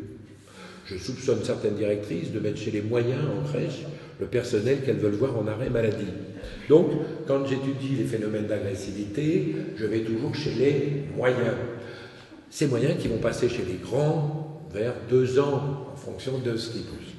J'arrive dans cette crèche et je dis est-ce qu'il y a des enfants plus agressifs que d'autres oh, La directrice de la crèche me dit là encore le mot asocial. J'ai entendu deux fois dans ma vie. La première fois c'était à Nancy, la deuxième fois c'était dans cette crèche à Bobigny. Elle me dit on a un asocial. Lui il avait, avait 18 mois. 18 mois. Un asocial. Un Enzo, un petit Enzo. Alors lui il passe son temps à taper sur les autres. Ça doit être un problème chez ses parents. Bon, nous on filme, on filme, il y avait deux officiers de culture, une douzaine d'enfants qui jouaient. La veille, il avait visiblement, il y avait eu un truc d'éveil à la musique, il y avait des instruments de musique partout. On filme notre petit Enzo là qui prend une petite flûte. Il prend une flûte, il, commence, avait 18 mois de l'occasion, il commence à jouer de la flûte. Bon, arrive une petite nana, même âge à peu près, c'est à moi, c'est pas à toi, elle fait un petit sourire, elle lui pique sa flûte. La sociale aurait dû lui taper dessus. Eh bien, il fait que dalle. Il prend une deuxième flûte sur notre film et il recommence à jouer. L'autre petite nana, elle se repointe, elle repique la deuxième. Eh bien, lui, il continue à faire que dalle, troublant. Et il invente quelque chose d'inouï à 18 mois, c'est le duo. Il prend deux flûtes, il va en porter une à la petite nana pour qu'ils jouent ensemble. Cet enfant, dit en retard sur le plan social, était en avance. Sauf que la petite nana lui pique les deux. Alors là, lui, il pique un coup de sang. Il prend un espèce de maillet de tambourin, boum, un coup sur la tronche. Et on a un film sensationnel, une des auxiliaires qui se retourne et qui dit c'est encore lui. Mais qu'est-ce qu'il a dans la peau, ce gamin-là? Rassurez-vous, quand on n'y a pas, c'est le film. Elle a soudain compris exactement ce qui se passait. C'est le contraire. Cet enfant, il était, entre guillemets, en avance, sur notre poubelle, on met en avance en retard. Hein. il était en avance sur le plan social. Il avait besoin de jouer avec des enfants avec qui il pouvait partager. Or là, il était au milieu d'enfants avec qui il ne pouvait pas partager. Qu'est-ce qui s'est passé? Il avait dit à peine 18 mois. On l'a fait passer chez les grands. Seul, passage anticipé. Or, du jour au lendemain, cet asocial est devenu le plus socialisé du groupe parce qu'avec des enfants de 2-3 ans, ils pouvaient construire euh, des choses. Une vraie réflexion. Quand on parle de 2 ans, qu'est-ce que veut dire avoir 2 ans, n'est-ce pas? Pour ou contre l'école à 2 ans, vaste fumisterie. Je vois certains enfants de deux ans qui se cassent les pieds à la maison ou à la crèche et qui sont mieux à l'école. Je vois certains enfants de 4 ans qui ne sont pas forcément prêts à être au milieu d'autres. Ça n'aurait pas en question l'idée de scolariser à deux ans et demi. Mais encore faut-il se donner les moyens, et c'est pas facile, euh, pour qu'il y ait des plus petits groupes. Certains enfants, au mieux de 30 autres, peuvent être complètement, non pas en décrochage scolaire, mais en non-accrochage s'ils n'arrivent pas, se pose le problème de la qualité, euh, par définition. Je vous dis ça entre nous parce que je sais qu'on se comprend. J'ai très peur parce que c'est filmé, c'est privé, hein, vous ne le montrez pas au ministère. Hein. Euh, parce que depuis pas mal d'années, je fais partie des gens, et on est nombreux, à dire que c'est inadmissible euh, qu'il y ait 30 enfants dans des petites sections de maternelle. Et j'ai, depuis un an, un an et demi, compris que malheureusement, on était entendu, mais pas tout à fait comme on le voulait. Euh, ce qu'on envisageait, c'était de développer des classes passerelles, des jardins d'enfants intégrés à l'école maternelle, gratos, etc. Or, ce qui est visiblement entendu actuellement, c'est que ça serait bien de fermer les maternelles et de les remplacer par des jardins d'éveil payants. D'accord? Hein? Euh, Non, ce qui est bien, c'est au contraire de, de diminuer les effectifs pour lutter contre les décrochages, en souciant, encore une fois, de l'accrochage. Terminons là notre sanction. Elle doit être immédiate, faite par la personne concernée, pas humiliante, expliquée, juste. Je rajouterai deux éléments simplement. Elle doit être proportionnée. Il m'arrive régulièrement de voir des enfants qui font des petites bêtises, qui reçoivent des grosses engueulades, et le même enfant qui des fois fait une grosse bêtise et qui ne se fait pas engueuler parce que ça fait rigoler tout le monde. Réfléchissons à la proportion n'est-ce pas? Le dernier élément, et j'en conclurai là-dessus, euh, c'est euh, qu'elle doit être réaliste. Notre enfant, pour qu'il comprenne le lien de cause à effet entre une bêtise, entre guillemets, et une sanction, il est au premier degré. Un enfant bosse au premier degré. Nos enfants ont plein d'esprit, mais ils n'ont pas d'humour. L'humour, ça veut dire avoir compris au premier degré et comprendre au deuxième. On peut même finir sa vie en n'en ayant pas faire gaffe. Hein. eh bien, nos enfants, par définition, ils en sont au premier degré. Or, une sanction qui ne serait pas réaliste, qui serait délirante, prise au premier degré, imaginez ce que ça fait dans la tête d'un enfant. J'en parle souvent dans des réunions euh, comme ça, et j'entends des phrases bizarres. Une maman qui récemment me disait, oh, ma fille, quand elle m'énerve, je lui dis, je vais te fiche par la fenêtre. elle me dit, elle a peur de la fenêtre, hein, elle approche plus. Hein vous mettez au premier degré, je vais te foutre par la fenêtre, c'était pas son projet à un moment. Mais entendu au premier degré, c'est terrible. Un papa récemment me disait, ah ben moi c'est sur l'autoroute, hein. mes deux gamins me fichent le soupe derrière, je leur dis, si vous continuez, je vous abandonne à la station-service. Eh bien, ça le calme aussitôt, dis donc. Pris au premier degré, le môme peut plus voir en peinture les stations-service. Euh, donc, si vous voulez, euh, faisons gaffe que là, ça soit réalisable la, sanction que l'on pose, qu'elle ne soit pas délirante. Et on peut être tenté des fois, pour nous, euh, au troisième degré, de faire une sanction délirante. Alors, euh, comment conclure? Eh bien, je conclurai en voyant s'il y a des réactions, des questions par rapport à Slavius Pateux. C'était mosaïque, parce que cette question est mosaïque, hein, et en insistant beaucoup à travers ce titre, le même pas mal, sur l'incroyable diversité d'un enfant à l'autre. Comme j'ai dit tout à l'heure, Certains enfants vont traverser l'adolescence sans que ça se voit, d'autres, ça va être vachement cogné et long. Euh, certains, la période du non, accepter les noms. Certains vont très vite accepter. D'autres, il va leur falloir des années. Et c'est crevant quand on en a un à la maison. On peut dire, et c'est vrai, que c'est preuve qu'ils ont un sacré caractère. C'est rassurant, mais à condition d'en être sorti.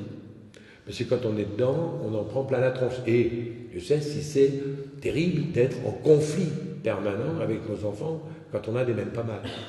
D'où l'intérêt, encore une fois, de faire aider. Des réactions, des questions, une série d'évidences. À vous de bosser.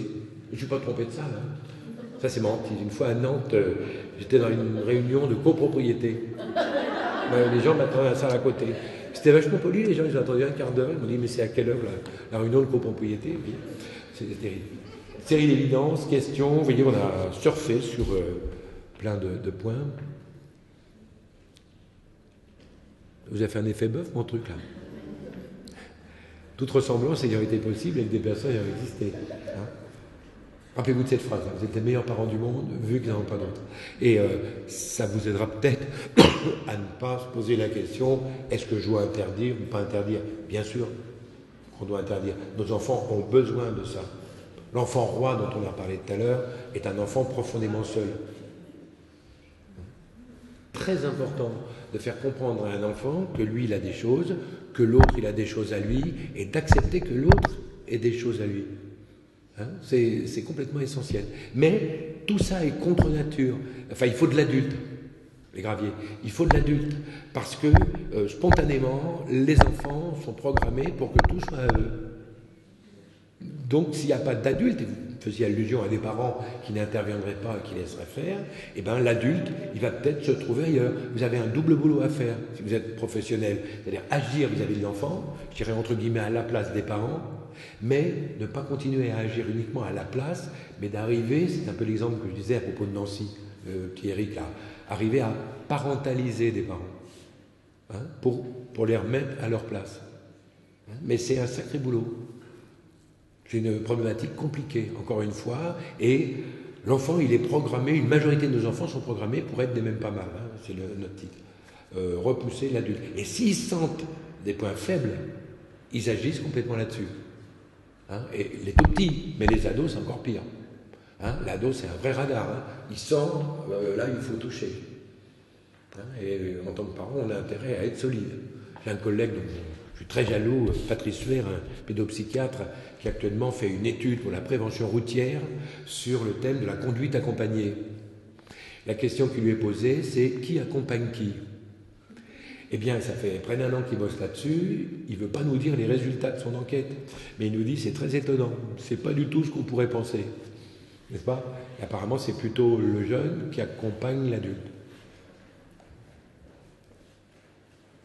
Mais c'est vrai que tout ça nécessite des nuances. Hein. Vous avez entièrement raison. Mais je, je réinsiste, je me permets, sur ce phénomène de souffre-douleur, je vous jure que c'est quelque chose, au même titre que les jeux dits dangereux. Hein, les jeux dangereux, jeux du foulard, etc. On voit toute une gamme de jeux euh, qui, qui, sont en train de naître de plus en plus et qui posent vraiment, qui posent vraiment question, ce truc-là. Les jeux dans les cours d'école où un groupe d'enfants se rue contre un, autre, on trouve ça dans les maternelles, on trouve ça dans les primaires, dans les collèges, c'est amélioré par le téléphone portable où on peut filmer la scène et la diffuser euh, en boucle. Hein, les fameux réseaux sociaux. Hein, les réseaux sociaux aussi, de plus en plus, aboutissent à persécuter certains enfants euh, avec les nouvelles technologies. Il faut y être très, très, très vigilant. Il faut ouvrir l'œil. Hein. Le jeu de la canette, où un groupe d'enfants, on entend le mot jeu de la canette, je l'ai vu dans les collèges. Euh, la règle du jeu, elle est simple. Euh, c'est pas avec une canette de bière. Le, un groupe d'enfants désigne un au hasard, avec le premier qui a un peu le verre rouge. Hein, hop, se rue dessus et lui donne des coups de pied pour faire rouler comme une canette. Vous avez une variante avec quelques détails qui s'appelle le jeu du taureau dans les cours de collège, n'est-ce pas? Euh, Chez les jeunes, vous avez le happy slapping euh, aussi. Il y a tout un tas de données. Soyons-y très très vigilants. Hein. Donc en tant qu'adulte, on a un vrai boulot à faire. Et ce qui est grave, c'est qu'on voit de plus en plus ces jeux violents qui descendent en âge dans des cours d'école primaire largement.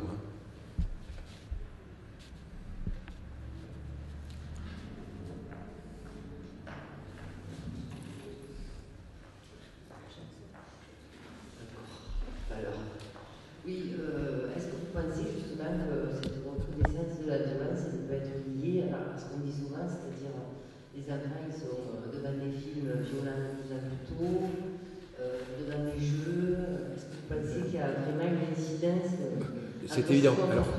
Voilà. Si vous voulez approfondir cette question, vous lisez les livres d'un grand copain de route s'appelle Serge Tisseron, euh, qui est, après avoir été celui qui a mis en évidence la notion de secret de famille, hein, pendant une dizaine d'années, il a bossé là-dessus. Depuis une grosse dizaine d'années, bosse essentiellement là-dessus, sur le, pouvoir de l'image. Et tout son travail, sur des livres accessibles, hein, mais le montre bien. Il ne s'agit pas de diaboliser, c'est pas le seul. Mais euh, tout à l'heure, je disais un petit peu allusion, par exemple, je faisais, sans citer d'ailleurs, allusion à Tisseron. Il a fait une étude il y a quelques années sur les scènes violentes vues à la télé. La question euh, qu'il euh, posait, c'est est-ce que c'est pire pour des enfants de voir seuls des scènes violentes ou en famille? Tout le monde avant lui disait c'est pire quand des enfants voient seuls des scènes violentes. Il a montré exactement le contraire. C'est quand on voit des scènes violentes en famille, mais qu'on n'en parle pas pour ne pas en rajouter une couche, le silence de l'adulte cautionne dans l'esprit de l'enfant le fait que c'est possible. J'étais il y a à peine un an à Bruxelles au procès de trois jeunes, 13-16 ans, qui avaient joué à mettre un parpaing sur une voie ferrée pour faire dérailler un train. Ils ont réussi, ils ont fait dérailler la loco, comme dans le jeu je sais plus quoi, sauf qu'ils ont tué le mec à mort. Et ces jeunes ne comprenaient pas qu'ils avaient pu tuer quelqu'un parce que c'était un jeu. Quand vous allez tellement aux États-Unis, vous avez un jeu qui fait fureur. Euh, un, jeu, un, jeu, vidéo, c'est euh, un jeu où il faut tuer des Mexicains qui, passent, qui essayent de passer aux États-Unis. Et chaque Mexicain tué rapporte une vie. Une femme enceinte rapporte deux vies. D'accord? C'est-à-dire que, comprenez bien le sens, je vous dis, je ne suis pas du tout en train de diaboliser ces trucs-là. Hein. les réseaux sociaux peuvent être des choses formidables, etc. Mais il faut euh, bien comprendre que, et on revient encore à la petite enfance, nos jeunes enfants, mentalement, sont dans un monde virtuel. Et ce qui est formidable, ça permet au Père Noël de préparer sa valoche, moi, avec mon look, j'ai un succès bœuf dans les crèmes. Dis qu'est-ce qu'il fout là? C'est pas Noël, vous voyez? Euh, Ça permet à la petite souris de venir chercher les dents. Nos enfants sont dans un monde virtuel. Notre boulot d'adulte, c'est de les laisser un peu dans ce monde virtuel magique, mais c'est de les amener dans un monde réel, à comprendre la portée de leurs actes. Or, des jeunes qui sont scotchés face à des écrans avec des mondes virtuels, avec des amis virtuels, n'est-ce pas? Euh, on est devant un danger terrible. Alors, cohérence, disait-on tout à l'heure, oui. Euh, sanction, oui. Euh, en tant que parent, on est des modèles, c'est ce qu'on a dit. Il est évident que si le soir, quand on rentre, on est scotché pendant des heures face à un écran, ça va être techniquement plus dur d'expliquer à nos enfants que c'est très mauvais pour leur santé de regarder trop l'écran. N'est-ce pas? On reste encore une fois des modèles. Il faut être crédible à ce niveau-là. J'ai rencontré récemment dans, un lycée euh, où j'étais à, Nantes, là, euh, régulièrement, euh, c'était des, jeunes, j'avais demandé à des, jeunes ce qu'ils attendaient de leurs parents. Alors il y en a une qui m'a dit, une gamine de 13 ans, elle me dit ce que j'attends de mes parents, c'est qu'ils me donnent des conseils pour ne pas les suivre extraordinaire. Hein Alors elle m'a expliqué que si ses parents attendaient qu'elle suive leurs conseils, ils étaient mal barrés, mais s'ils lui en donnaient pas, c'était elle qui était mal barrée, parce qu'elle avait besoin que les parents lui donnent des conseils. Et en entendant ça, un autre gamin, un garçon de 13 ans à peu près, me dit, mais c'est pas toujours facile d'écouter les conseils, parce que mon père, il me dit, il faut travailler pour avoir un bon métier, pour, etc. Et quand il rentre du boulot, il arrête pas de dire que son taulier le harcèle, euh, de calculer ses RTT, de calculer ses points de retraite, etc., en disant vivement que j'arrête de bosser. Eh bien, le môme était assez déconcerté, si vous voulez. Encourager un enfant à travailler et dire que le travail, c'est un, calvaire. Donc, il faut faire gaffe. Mais c'est vrai que cette question des jeux vidéo, elle, enfin des jeux euh, et des, des, réseaux sociaux, etc., elle n'est pas neutre. N'est pas ne faut pas la diaboliser. Hein. C'est un outil intéressant. C'est le premier outil, cette nouvelle technologie depuis l'âge des cavernes, qui permet à un enfant d'être supérieur à l'adulte. Il n'y en a jamais eu. Hein. Vous prenez deux nouvelles consoles, euh, vous mettez dans deux pièces différentes, vous mettez un gamin de 13 ans dans une pièce, un adulte de 35 ans dans l'autre, vous revenez au bout d'un quart d'heure, le gamin dit Ah, c'est géant, et l'adulte est à quatre pattes en disant Où c'est que ça se branche donc, si vous voulez, euh, on est face à quelque chose, ça, ça m'amuse beaucoup quand j'entends l'autorisation parentale, le contrôle parental. Hein? Moi, je crois qu'il faudrait plutôt donner l'autorisation filiale, en sachant que les experts à la maison, en général, c'est nos gamins. Hein? ils sont meilleurs que nous. Mais donc, soyons-y vigilants. Hein? et ne, ne, soyons pas culpabilisés. Je rencontre souvent des parents qui me disent par exemple, mon enfant me pose une question. Il fait des devoirs, il me demande un truc. Je attends, attends je vais regarder le dictionnaire. Il, dit, regarde sur Internet, pouf, il me dit, j'ai la réponse. Et des parents ont l'impression d'être dépossédés souvent d'un savoir. Or, c'est pas vrai. On est dépossédé, et c'est vrai, d'un savoir le plus vite possible de trouver plein de réponses. Mais on a un pouvoir, c'est le discernement. Apprendre à nos enfants à être critiques par rapport aux infos qu'ils reçoivent, à prendre du recul, à voir ce qui est vrai, pas vrai, etc. Ça, c'est notre job. Vous voyez? Donc, il faut utiliser, il faut, s'y mettre à ces nouvelles technologies. C'est pas diabolisant, pas les diaboliser, mais c'est vrai qu'elles ont quelque chose de diabolique quand elles enferment un enfant, encore une fois, dans un monde virtuel. Et s'il reste dans sa chambre pendant des heures scotché, euh, il s'enferme encore une fois dans ce monde virtuel. Tout est une question de proportion. Est-ce qu'il peut en sortir ou pas? Il y a une vingtaine d'années, vous voyez, c'est pas jeune, il y a eu des études faites sur les jeux de rôle, qui étaient extraordinaires, les jeux de rôle. Mais il a été montré que certains pouvaient être complètement pris, surtout des gens qui étaient insatisfaits de leur situation personnelle, en s'enfermant dans le rôle. Il y a eu, il y a quelques années aux États-Unis, trois procès euh, par acquittement de jeunes qui avaient tué des profs, parce que ce n'était pas le jeune qui avait tué le prof, euh, c'était le chevalier machin euh, qui avait vengé le. etc. Faisons gaffe. Il ne s'agit pas de diaboliser les jeux de rôle, mais dire attention, si on n'en sort pas, on a un problème. Il ne s'agit pas de diaboliser cette nouvelle technologie. Alors il y a des trucs, si on prend Tisseron, il dit des choses vraies, mais malheureusement un peu surréalistes. Euh, Tisseron, dans ses recherches, par exemple, montre qu'avant l'âge de 8 ans, un enfant n'est pas armé pour regarder le journal télévisé de 20 heures. Mais en ayant analysé finement les perceptions d'eux, etc., ben, ce sont pas rares les enfants avant 8 ans qui regardent le journal télévisé, par définition. Mais quand on parle de violence, c'est pas que les films violents. Hein. Et même dans, la pub, on retrouve plein de scènes bien plus violentes qu'on imagine. Regardez un journal télévisé, hein, euh, y compris dans des scènes pas expliquées. J'ai été personnellement, récemment, terrorisé, bien sûr, parce qu'il s'est passé à Toulouse, mais qu'on impose quelquefois sans explication dans des écoles à des enfants de faire une minute de silence sans qu'ils aient pu comprendre le sens que ça avait, en sachant qu'ils risquaient plutôt d'être culpabilisés euh, de ce qui arrivait, c'était les rendre responsables. Et peur d'aller à l'école. On est sur du délire. Donc explication. Hein et regardez un jour, regardez euh, demain soir le journal télévisé. Eh bien, vous allez, mettez-vous dans la peau d'un gamin de 6 ans, je peux vous assurer que c'est monstrueux, euh, ce truc-là. Or, ça passe en boucle. Quand je dis passe en boucle, hein, le 11 septembre, euh, où les tours passaient en boucle, etc., les tsunamis qui passaient en boucle, je peux vous assurer que j'ai vu dans des écoles des enfants complètement terrorisés par des scènes comme ça. Mais que faire? Que faire il ne faut pas diaboliser, mais il ne faut pas nier que ces images ont un impact vous disiez, comme vous disiez tout à l'heure, en fait, c'est les laisser faire, mais. Comme vous disiez tout à l'heure, c'est les laisser faire, Le mot de la conclusion, ça va être jusqu'où hein? Laisser faire, mais jusqu'où? Si on laisse rien faire, l'enfant ne peut pas improviser. Actuellement, il y a une déferlante sécuritaire qui nous tombe sur la tronche, on l'a évoqué tout à l'heure. Vouloir protéger les enfants en les empêchant de prendre tout risque. Or, un enfant, il a besoin de maîtriser des peurs.